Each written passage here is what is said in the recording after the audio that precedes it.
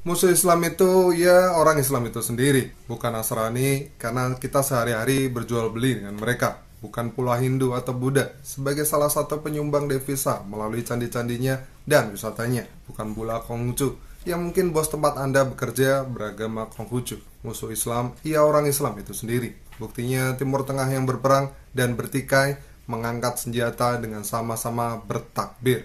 Musuh Islam, ya orang Islam itu sendiri anda bisa datang ke Israel. Banyak warga negaranya juga beragama Islam. Begitu pula tentaranya. Bahkan Anda dengan mudah menemukan resto halal di sana. Karena investornya juga banyak yang muslim. Sudahlah, cukupkan saja mencela amalan-amalan yang kami lakukan.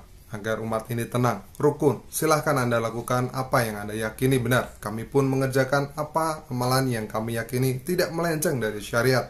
Kalau orang non-muslim membenci Islam itu karena ketidaktahuannya dan karena perilaku kita sendiri sebagai muslim yang eksklusif dan terkesan seram, tidak membaur serta menarik diri. Orang yang tidak tahu itu tidak mendapatkan dosa. Justru kitalah yang menjauhkan orang dari hidayah Allah yang bermasalah. Jadikan diri kita cerminan muslim yang baik, yang rahmatan lil alamin. Jangan saudara seiman kita tahdir, kita celak hanya karena beda pandangannya dalam beragama.